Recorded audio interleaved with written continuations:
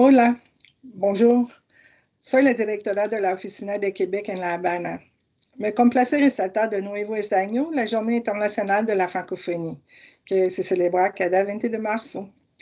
La lengua francesa reúne más de 308 millones de locutores en todo el mundo.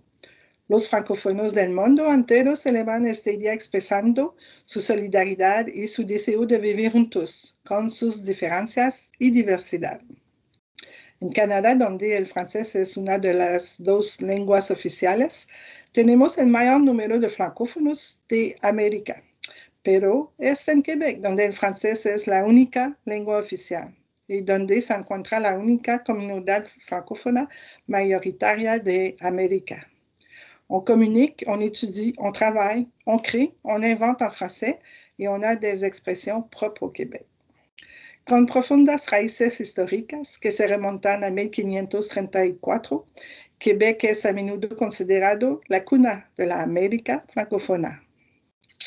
En la Organización Internacional de la Francofonía, Quebec ha encontrado un socio que le permite desempeñar un papel activo en el espacio francófono, en desafíos universales como la educación, la cultura y la economía.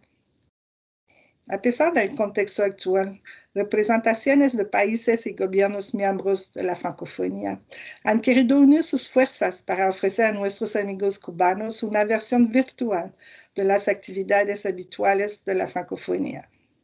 En colaboración con el comité organizador de la francofonía, la Alianza Francesa de La Habana y la Oficina del Historiador, Québec, Haití y Bélgica, así como la poeta cubana Nancy Morejón, se han unido para presentarles la cultura y la lengua francesa en, América y en el mundo.